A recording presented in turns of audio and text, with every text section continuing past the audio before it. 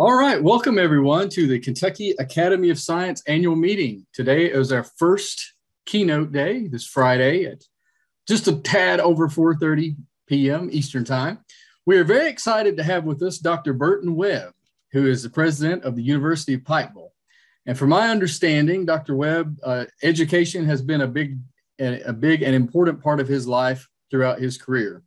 In his undergraduate, he studied zoology and chemistry for his master's degree, he got a master's in biology from Ball State, PhD in microbiology and immunology from Indiana School of Medicine.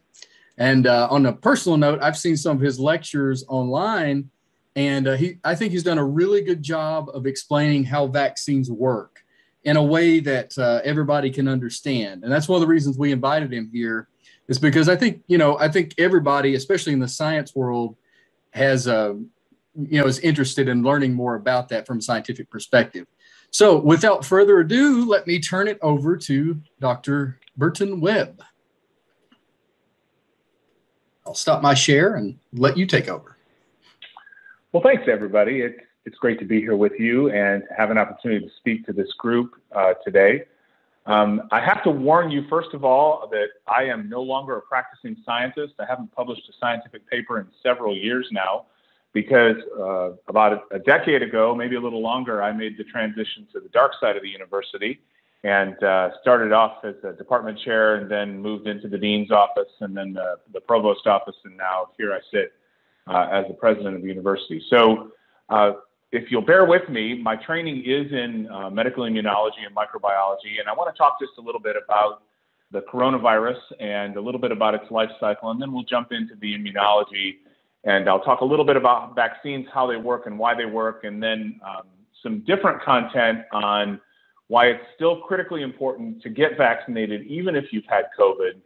Um, and I'll, I'll, talk a little bit about what we think right now is the best uh, combination of immunity, and uh, then wrap up by talking just a little bit about how the pandemic ends. So let me share my screen and we'll jump into this uh, content. So.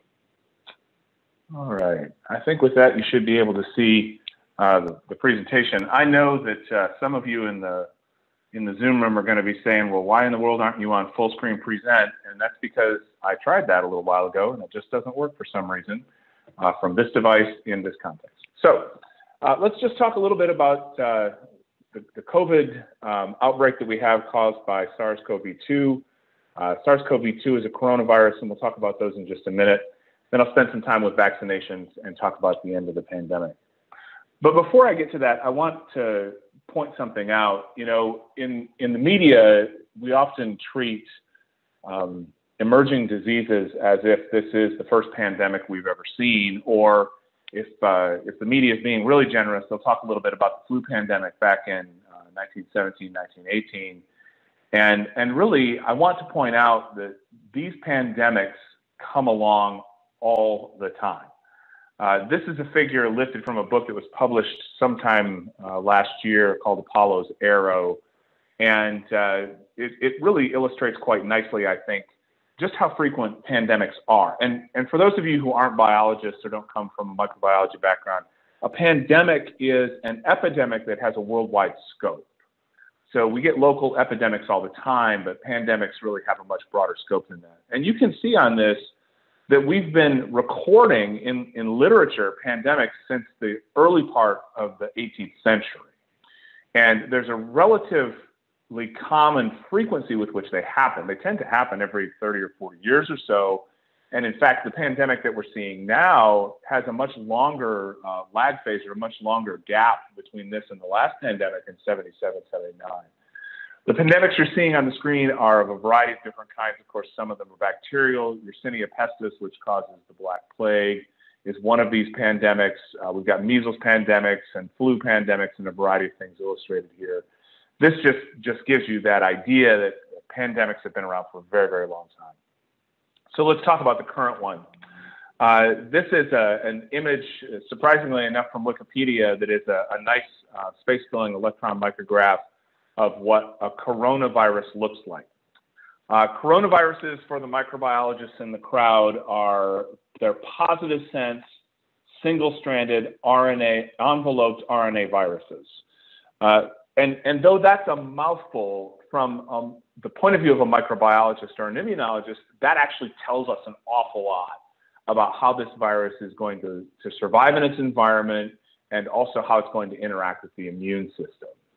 So when we say it's a positive sense RNA virus, that means that the piece of RNA contained inside this virus can be transcribed immediately into protein. Right? It also means that this virus has to carry with it a, an enzyme that can copy that positive sense RNA into negative sense RNA so that the virus can replicate itself. That's really important in this context because if there's a viral RNA transcriptase involved in the replication, that means that the virus has a mutation rate that's higher than most DNA sequences. RNA polymerases tend to have very high mutation rates. And so we're going to see the emergence of new strains and new subtypes of coronaviruses because of that enzyme. The envelope is critically important too because envelopes, uh, envelope viruses don't survive well in the environment for very long periods of time. They might live on a surface for several hours. Uh, very rarely, and if the surface has a lot of moisture on it, they might last for a little bit longer than that. But these viruses just don't hang around on surfaces, and they're very sensitive to ultraviolet light. If this were a naked virus, like many of the viruses that cause the common cold, we would have all sorts of problems uh, with this virus just sitting around in the environment for days and weeks on end. Thankfully, it's an envelope virus. Uh, it has a variety of, of, proteins that extrude from the surface, and here you're looking at several structural proteins that they've coded and colored in different ways. That large protein that is uh, gold and blue color that's sticking out from the surface of, of the virus uh, is the spike protein. And the spike protein is something that I talked about in, in the vaccination video, and I'll come back to here in a little bit.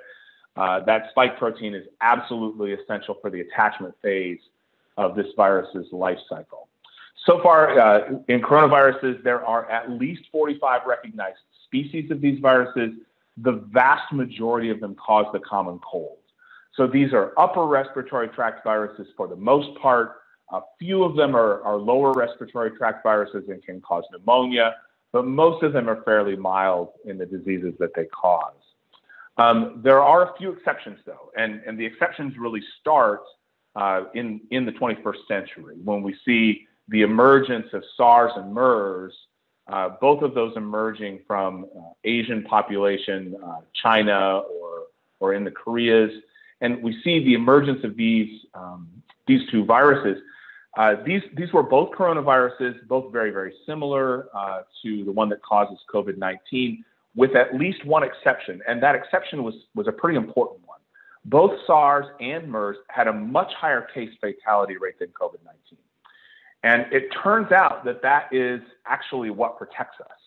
Um, because SARS and MERS had such a high fatality rate, first they were noticed quickly. Uh, the patients were isolated and quarantined fairly quickly.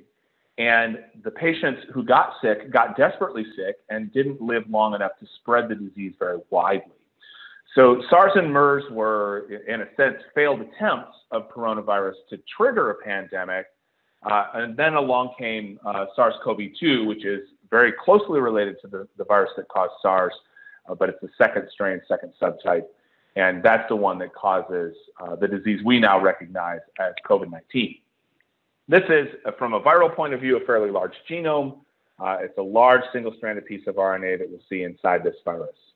So, so that's what the virus looks like. Let's take a quick look at the viral life cycle uh, because the viral life cycle will give us information in a few minutes about how the body fights this uh, so, so this is a, a, a picture, and I, I, posted the link there, uh, the location where I, I, got this diagram from. It's a pretty standard, straightforward replication uh, process for enveloped positive strand RNA viruses.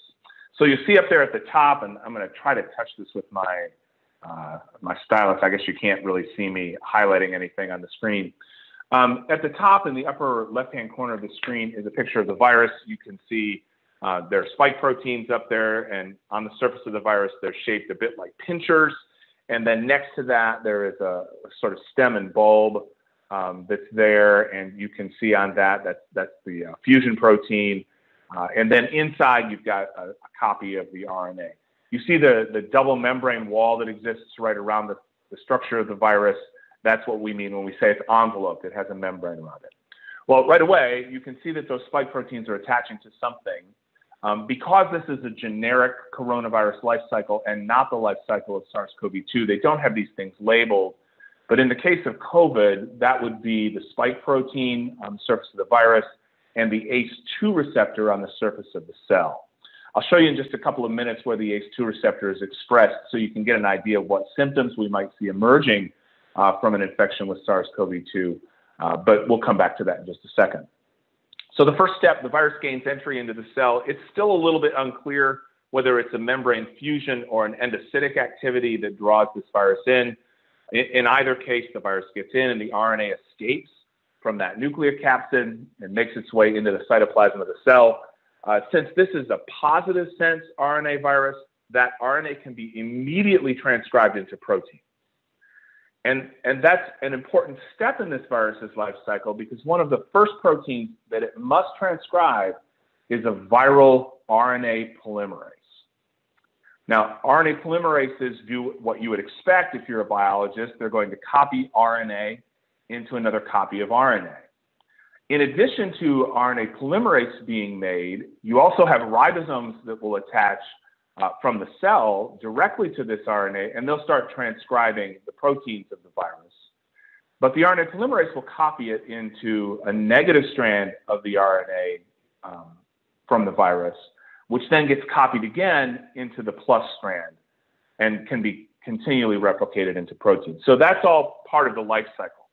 Some of this RNA will carry leader sequences, which will allow it to be carried to the endoplasmic reticulum. You're seeing that there uh, a little bit further down in the diagram, and those viruses will be either inserted into the membrane in the endoplasmic reticulum or, or captured out on the, the cytoplasmic side or the interior uh, location of the ER so that we can package this virus appropriately. And then it goes right through the default pathway that you would expect to see from the endoplasmic reticulum to the Golgi apparatus to the secretory vesicle, and then it's, it's secreted out into circulation as an intact whole virus. Uh, so, so the life cycle is really important for a variety of reasons. First of all, um, if we can do anything to block the binding of the virus to the ACE2 receptor, that will block the ability of the virus to gain access to the cell and block everything else in the life cycle from that point. So, from an immunologic point of view, our goal is to block entry into the cell. Now, if we've got someone who, who shows up at the, at the hospital and they've already been infected, well, blocking entry into the cell is still useful, but perhaps it might not be enough. So what we need to do at that point is try to attack uh, some of the proteins that are enzymatic proteins uh, that are specific to the virus. And the best target we see is right there up front. It's the viral polymerase. If we can identify drugs that attach and bind to viral polymerases selectively more tightly than they would bind to DNA or RNA polymerase from our own cells, then that would be a great target for a drug. And I think I've read of at least one, uh, one medication that's been approved that does in fact bind to RNA polymerase. So it would slow down the replication of SARS-CoV-2 and, and probably have a, a positive effect on patients. So blocking entry is critically important. But there are other mechanisms that the immune response has to fight viral infections other than blocking entry. So we'll talk a little bit about those two when we get to the immunology section. Of course, the problem here is with, with this virus in particular uh, is that there is um, a period of time during which the patient is asymptomatic, and you can see on the right-hand side there, uh, we've got a diagram that asymptomatic and symptomatic, those are time periods. And then a period where the virus is latent, the virus is in your body, it's replicating, but it's not being secreted yet from the body. And then when you're symptomatic, of course, the virus is being secreted, but that spot in the orange is, is what we call a mismatch period. And it is in the mismatch period when a patient is still asymptomatic uh, for 24 to 48 hours, usually, but it can be shorter or a longer duration than that uh, during which a patient is highly contagious. They can pass this virus from one person to another person, uh, but they're not yet symptomatic. So, this is why in the early days of the COVID 19 outbreak, we'd have someone show up with symptoms. They'd go get tested, they'd be positive, and we would ask, so who are your contacts for the last 48 hours? Because we had to go back and get those contacts and say, we think that you may have been exposed. You could be in a latent asymptomatic period yourself. We want you to quarantine so that we don't continue to spread this virus uh, throughout the population. Of course, we all know now that that didn't work very well, even though um, it works quite well, and at least theoretically, and if we can get people to comply, uh, we can slow down and stop the spread of viruses and bacteria through quarantine and isolation. That's been done for a long time. Um, but when we live in a society in a country where people don't want to comply with quarantine orders, well, then it doesn't work. And that should come as a surprise to no one. So it is that mismatch period that creates uh, the problems that we see. Um, from an immunologic point of view, and, and also from uh, a disease point of view, uh, this, this is a really interesting virus.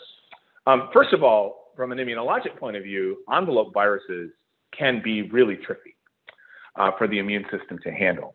You know, these viruses um, carry a part of the cell membrane of the cell that they just infected.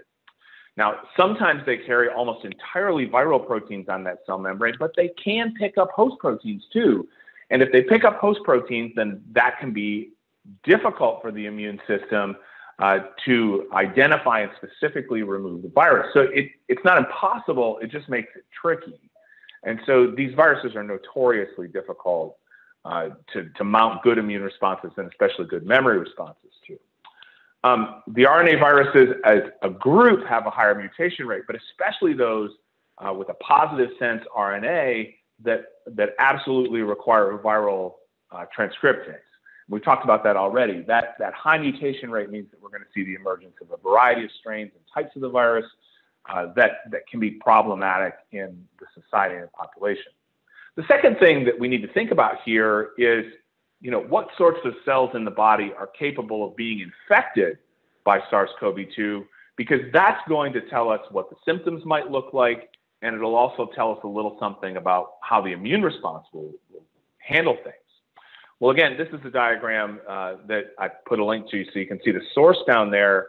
Um, but take a look at all of the different organ sites, the ones illustrated in green that are that have ACE2 receptors on them that are widely distributed and often have a very high density. It'll come as a surprise to no one that the nasopharyngea is, is one of those sources where ACE2 is very high. But then if you look around the body, you've got a variety of places that you might not suspect. So in the eye, we have a high, high percentage of ACE2 receptors. On the tongue, the taste buds, uh, the cells that, that transduce that, that biochemical signal of taste into a, a neurochemical signal also have high levels of ACE2. In the brain, you've got ACE2. In the heart, in the stomach, in parts of the digestive tract, in the reproductive tract, in the urinary tract, you've got ACE2. Uh, so really, the only places where we don't see a whole lot of it are in the bone and in, in the lymphatics themselves. We don't see a lot of ACE2 expression. so just about everywhere else, we see ACE2, which means that SARS-CoV-2, though it, it has a certain, um, it, it, has a rapid access to the nasopharyngea and the respiratory system and the oropharyngea, it can, if the virus gets elsewhere, it can infect a wide variety of other cells. And so we get an awful lot of really diverse symptoms as a result of that. So when you hear someone who's lost the sense of taste and smell, well, the virus has infected those cells that are responsible for signal transduction and taking those, those chemical signals uh, of smell and taste and turning them into neurologic signals. And so you lose the ability to taste and smell. My sister had COVID, and I, I ran into her just a few weeks ago, and she said that things taste strange now. So she used to taste some things as spicy, and now they're sour.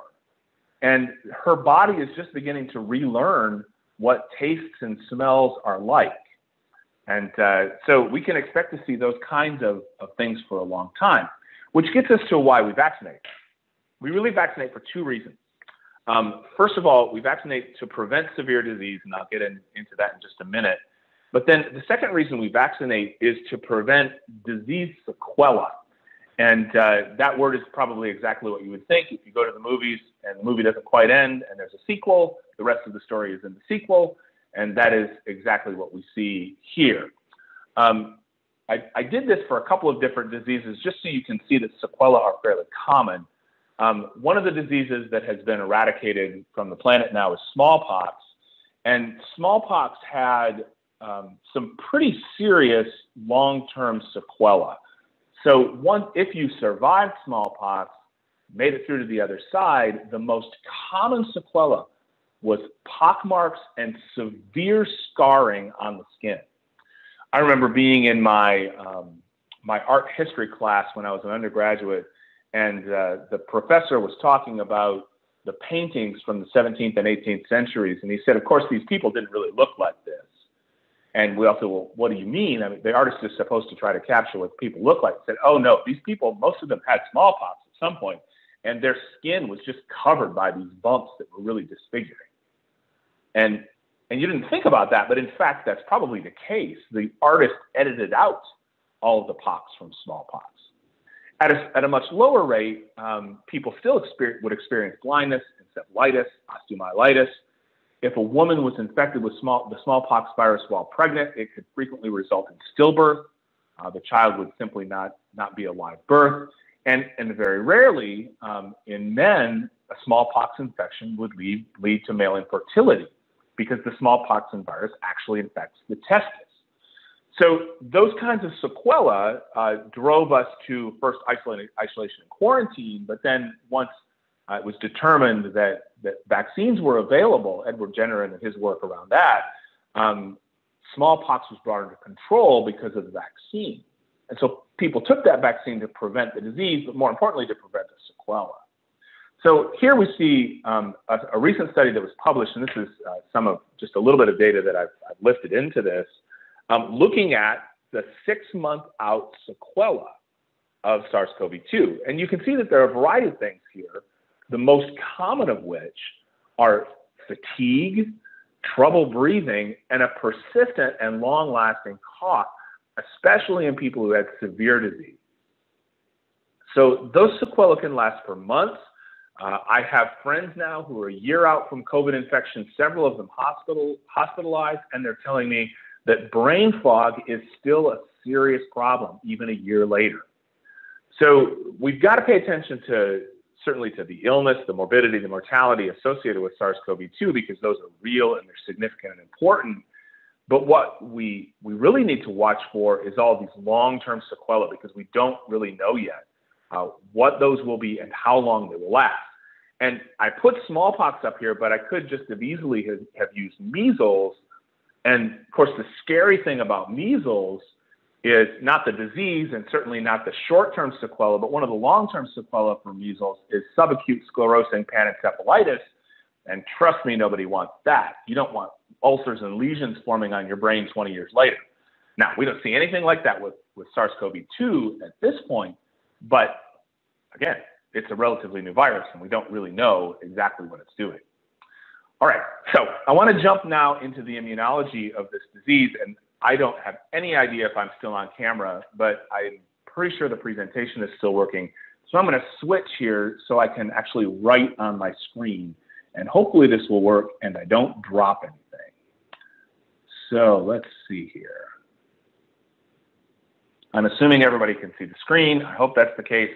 Uh, you won't be able to see my face. You'll see the, the ceiling in the room. All right, so the immunology of this is really interesting. And what we're trying to do, of course, is we're trying to mount an immune response against this virus. And this is just a really rough drawing of the envelope virus. Um, and uh, so let's see here. I've got to find all my tools. They keep getting hid behind the text. Um, that's really interesting. The closed captioning is hiding uh, my toolbar. uh, so uh, this this is the virus, and, and what we're trying to do is, is mount a, a, response against these spike proteins. So this is a spike protein here, and uh, if we can mount an immune response to that, here's a cell membrane, and here's an ACE2 receptor on the surface of that cell membrane. What we want to do is prevent this interaction, and the way that we do that is by uh, vaccinating against the spike protein so that the body will mount an immune response and form antibodies. Right, antibody is a Y-shaped molecule, and I, I label that AB. Well, if you've watched the other video, you know that this takes time. So if we if we look at this over the course of time, uh, you get infected with something down here at time not at time zero, and then it, there's a bit of a lag phase, and this lag phase is when the virus is incubating in your body. And then after a, a period of time, seven to 10 days usually, you'll start to see a little bit of an immune response that looks like this. This immune response is dominated by a particular kind of antibody called IgM. Uh, IgM is a, a, pentavalent antibody. It can actually attach to uh, about 10 different viruses all at one time if they'll fit in a stoichiometric way. Uh, but it can do that. So this is the first antibody that comes up, and then it, it begins to decline after a couple of weeks. Um, so this is the normal course of infection. Now, the reason we want to vaccinate is if we vaccinate some someone, they'll still mount this immune response, but down here in, in a normal timeline of disease, you might see uh, that this is the latent period here, and then sometime over here you start to get symptoms. So symptoms are here, and the symptoms can be really severe. In fact, if, if you have a really severe case of SARS-CoV-2, you could die during this symptomatic phase, even while your body is mounting an immune response. And the reason for that is the, the body is mounting an immune response. Uh, I'm, I'm, sorry, there was a pop-up note at the top of my screen. I, I had to pause to read that. Um, the, the body is mounting an immune response, but it could be that the virus has enough of a head start that it's going to take you first or in some people, their immune response is so overwhelming that it triggers a negative response in the body and can result in a, a systematic inflammatory response that just wipes them out. So, so we vaccinate to prevent that. We vaccinate because we can stimulate the immune response without the disease. Right. So the second time you see something, if it's the same uh, the same virus, uh, we're going to see something over here, secondary infection. And the secondary infection, you get this massive immune response and the antibody concentration tapers over time. Uh, this one is predominantly IgG. IgG is great at protecting the blood, doesn't work so well on mucosal surfaces. Uh, there should be a, a, little tiny peak of IgA in here, um, somewhere in, in here that is protective of mucosal surfaces. Okay? All right, so I need to erase this. So I'm going to get up here and do this. So, so again, this is why we vaccinate. We want to get a head start on the disease and on the symptoms of the disease. Well, what does that mean in terms of, of the immune response over here? Come on, little screen. Get off there. There we go. All right. so over here, we're, this is the antibody that we talk about. So this is IgM in the primary response or IgG in the secondary response. And the whole idea is to physically block all of these spike proteins. If we do that, then the virus can't gain access into the cell. Because viruses are obligated to be inside the cell to replicate, they can't cause disease. Now, we find it, I find this personally really fascinating um, because right now there is a group that in uh, I believe it's in the Soviet Union, that is looking at a very small population over there that is absolutely incapable of being infected with SARS-CoV-2. They have been exposed repeatedly. They have never, they've developed antibody titer, but they've never developed a, an infection. And they're trying to figure out what's going on with them. Uh, what they think, at least in the early stages of this work, they think that these people have a mutation in ACE2 that prevents SARS-CoV-2 from binding. Now that's fascinating, um, but it underscores the fact that SARS-CoV-2 absolutely must bind. It is an obligate intracellular parasite. Okay, so that's why it's important uh, for us to get vaccinated and a little bit about how the vaccine actually functions. As I erase the rest of this, I want to talk a little bit more about why it's important to get vaccinated even if you've had uh, SARS-CoV-2 infection. So you will remember that if we look at the surface of this virus, you know, we've got all these spike proteins that look like this, and, and they cover the surface of this, but that's not the only thing here. There are actually four structural proteins here. So we have a protein that mediates membrane fusion that looks like this. Uh, we have we have some proteins under the surface of the membrane here that are part of this structure. And then there's at least one other protein that protrudes through, and we think it's a pore-like protein. So I'm not even sure how to draw that. Just something like that. I'll just put a couple of them on. All right. So right now, um, the, the major vaccines that are out there are RNA-based vaccines uh, that code for this protein right here, so the spike protein. All right. Now, because of the way the FDA works, when you when you submit a vaccine, you have to submit a vaccine that is just as it will be when you put it into the population. So the sequence of this spike protein is set. Uh, it doesn't vary. All of the Moderna uh, spike proteins have the same sequence. They have the exact same structure. All of the Pfizer's have the exact same sequence and same structure. Uh, and and so it's it's very very clear what the sequence and structure is.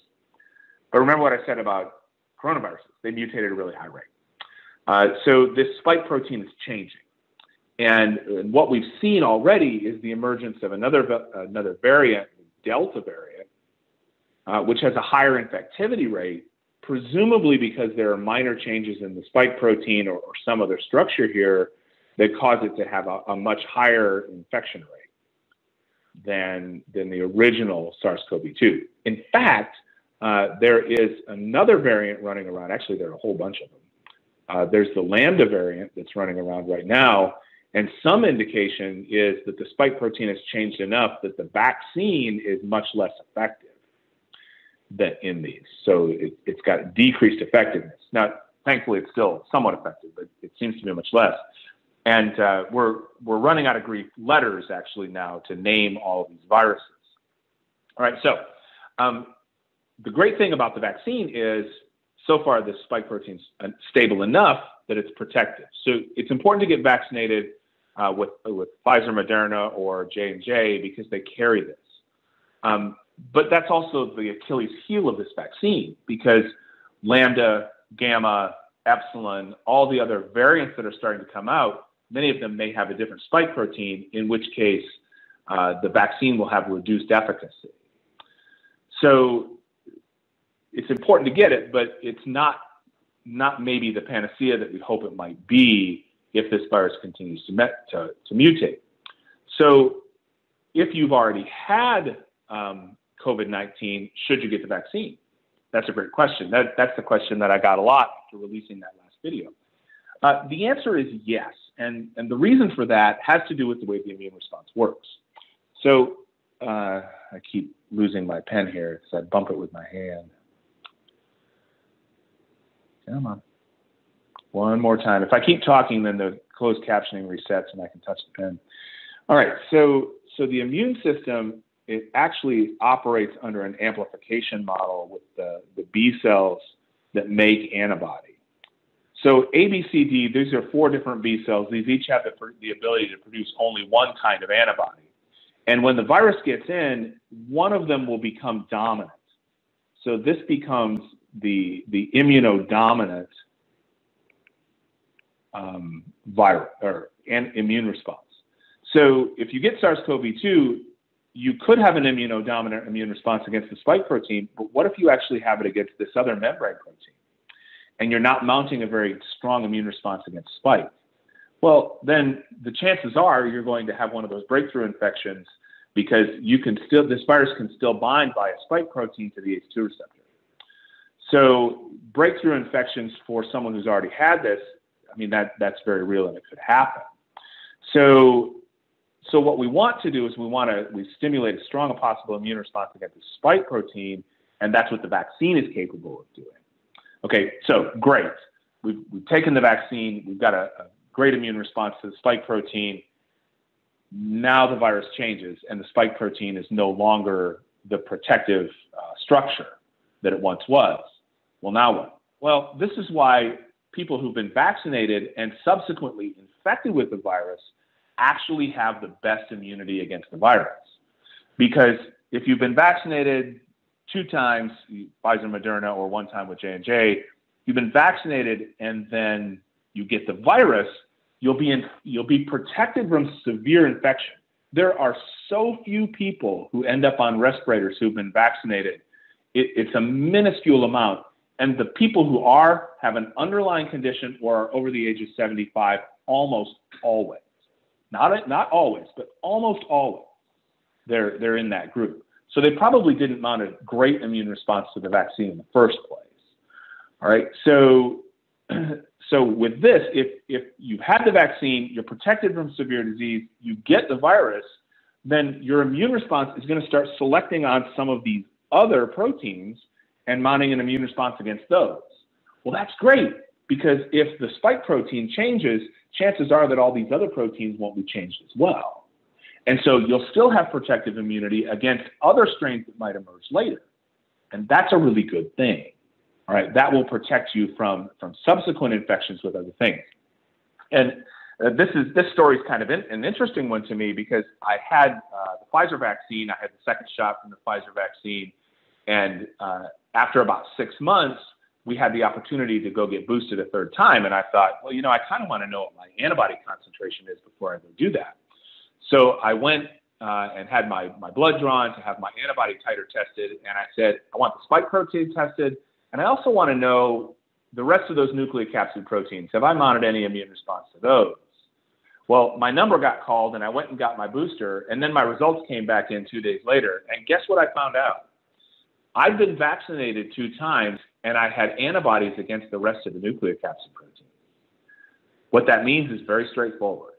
Uh, I had been vaccinated, boosted, and subsequently contracted COVID, and I was completely asymptomatic. I had absolutely no idea that I had been infected with anything. And what's more, when my wife's antibody titer came back, she had never been infected with the COVID virus. So I had been vaccinated, boosted, been infected with COVID, but never replicated enough virus that I shed it at sufficient quantities to affect the woman who sleeps next to me every night. That's protection. And that's what your immune response is supposed to do, and the way in which you're, if you take the vaccine and do the things that, that are being suggested, uh, that you can protect the people around you from infection. And, and I think that's a pretty cool thing, which is one of the many reasons that I love immunology. All right, switching screens again, and I'll probably have to log back in. I've got a few more things to say on the other one. Dr. Webb, this is absolutely fascinating. You wanted to, me to give you a 30 minute warning. It's been about uh, 40 or so, but uh, keep keep going as as as long as you want. I think we're good. I think everybody's really interested. We have a few questions uh, if you have time that uh, I do, and and just I'm going to just wrap this up really really rapidly here. Um, there are several things that seem to be important in uh, in the between the host and the virus in terms of susceptibility uh, that we still haven't gotten to the bottom of, and I think these are great things for for folks on the audience or others to do research on. And um, there's some host susceptibility things. Uh, blood type seems to play an important role here, and that could have something to do with ACE2 receptor expression uh, on the surface of those cells. Um, biologic sex. Um, there is a difference between men and women in the severity of this disease. Not, I mean, both men and women can get severe disease and die, but there are differences in the rate. Um, all of the underlying conditions that are involved here are fascinating in the way that they increase susceptibility. There is a variation in ACE2 receptor expression on the surface of folks, and I think that bears um, yeah, bears study. But then finally, um, the way the host responds immunologically seems to be really important. Some people who get serious disease experience an immunologic syndrome called cytokine storm, in which the body is responding in a systemic way to what the body sees as a system-wide onslaught of this disease, and that is a a really overblown kind of thing. It, it would be akin to you know someone uh, you know pulling a gun on someone else, and instead of just trying to defend themselves maybe with another gun, uh, they they pull out a bazooka and they shoot back with a bazooka. So this is the immune response going way overboard, way way way more than it needs to have. And then of course there are viral things too that are involved in, in this interaction. And it is this interplay between host and virus that I think we will find extraordinarily fascinating as time goes by uh, with this. So the last thing I want to talk about is, is how the pandemic ends, because I think this is interesting too. Um, most pandemics have ended with herd immunity. Um, and herd immunity can be brought about either by vaccination or by exposure to the disease. Herd immunity is that theoretical percentage at which the population becomes extraordinarily difficult to propagate an infection because so many people are immune. That number uh, changes for every variant of this virus. Um, for the Delta variant, I think it's it's in the, the mid to upper 70, low 80% range. For the original virus, it's about 63%. Uh, so it keeps changing. It's a bit of a moving target. Um, public health measures will also bring about the end of this. In fact, if you look at pandemics throughout time, public health measures have done more than vaccinations and antibiotics. Um, the other thing that's really good is uh, viruses, especially viruses like this, uh, their goal from an evolutionary point of view is to be endemic in the society for a long time. And the best way to do that is to not cause severe disease. If you're killing your host, you're going to have a hard time maintaining yourself in the population. So viruses, as a rule, tend to weaken over time. So it's very likely that, that some of the coronaviruses that cause the common cold today were pandemics 200 years ago that gradually got less virulent over time. So it's, it's equally likely that the, the SARS-CoV-2 virus will become less virulent over time. And then we will adapt and we'll learn to live with it. We'll just, we'll figure out, you know, we're just going to have to move on and um, and live with this virus and hopefully get enough herd immunity that the serious forms of disease and death uh, are, are not occurring at a very high rate. All right, with that, I'm going to stop sharing content and then uh, I'm happy to answer any questions that you may have. Well, thank you, Dr. Webb. That was absolutely fascinating. I, I think us as a group of scientists and students who, you know, just appreciate science anyway, and who've had to deal with this for the past year and a half plus, you know, something that everyone's interested in, whether you want to be or not. So I uh, do have a couple questions here. I'm sure others will roll in, and, and somebody just just send me others if we have them from YouTube or anyplace else. One question is, assuming that we're fully vaccinated six plus months ago, how long should somebody wait if they've had if they had a recent case of asymptomatic COVID before getting the booster? I think CDC's recommendation right now is about 90 days, and uh, that's that's probably fine. Um, you really want to wait until most of the virus is out of circulation because that allows the immune the cells that that um, drive the immune system to to become a bit more quiescent. You you want them to come back down because otherwise all you're going to do is eliminate that vaccine from circulation really fast. What you want to do is stimulate uh, the memory cells that are found in the periphery. And once those memory cells get stimulated, they'll actually differentiate it to higher affinity cells that can bind to the virus more effectively. And they'll shift from IgG and IgM to IgA, which protects the mucosal surfaces. And that will protect you from being able to be infected in the future. So that's why we wait. We want to stimulate memory immunity rather than just allowing the antibody that's hanging around in the system uh, from an infection to just clear that vaccine really fast. Yeah, I, I, was fascinated with your story about you being fully vaccinated and then getting an asymptomatic case and then being boosted. Similar with me, you know, I, I, had a similar situation with that, so I was, was kind of curious. Uh, another question is when somebody is getting tested for antibodies, what, as someone who's not in the medical field, what would we be looking for in that test specifically? So there are a couple of different tests for antibodies. Um, the, the one that is being used by most clinicians to see the efficacy of the vaccine is looking for anti-spike proteins. And there are two of those tests. One looks for IgM, which means that you've had a recent infection, and the other one, or a recent vaccine. And the other one looks for IgG, which means that you've had that second booster and you've got that nice big peak. The second thing that they look for is nucleocapsid proteins, and those are the other proteins that are found on the surface of the virus. So if the nucleocapsid proteins are present, the antibodies against nucleocapsid proteins, that means that you've had an infection um, and, and the vaccine is not being measured in those. Excellent. Valerie, do you want to ask your question? Sure. Feel free to. Dr. Webb, you mentioned that we don't exactly know if the virus getting into the cell is a membrane fusion process or an endocytic process. is there any real consequence to that difference? Do we already have any drugs that might block one of those processes or the other? I, I know as academics we like to know the details, but I was just wondering if there was any um, any real consequence to to knowing the difference in that mechanism. You know, the mechanisms are different, and and there are some things that can block um, endocytosis that won't block membrane fusion.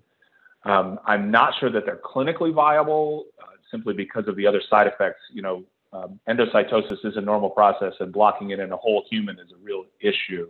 Yes. The reason that I think it's academically interesting, though, is because if it is membrane fusion, then you're leaving spike proteins out on the surface of the cell that's been infected, which uh, would make it a target for the immune system. So that to me uh, changes the game. And uh, if, if you're seeing the accumulation of viral spike proteins on the external surface of the cell, well, then antibody mediated um, uh, T8 cell attack and other kinds of attack would be prevalent. And that could be the case, you know, that could be some of what's going on in, in some of the sequelae that we see. Right. You know, some and of the there brain are some fog people that think that that's, uh, there are some people that think that that's what vaccine side effects are responding to, is if you have spike be. protein that are in the cell surface membrane. Yeah, the, the nice thing about the RNA virus or the RNA vaccine though is it's really unstable inside the cell, so it's it's only expressed for a short period of time you're not going to have it hanging around for months. Dirk has a question. Dirk, would you like to ask it?